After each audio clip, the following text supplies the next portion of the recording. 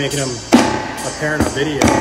Um, so this is like one of the uh, dreams I had. It was just a quick drawing, but uh, it's like almost like a weird cement, like I don't know, facility, and it was uh, a shooting range almost.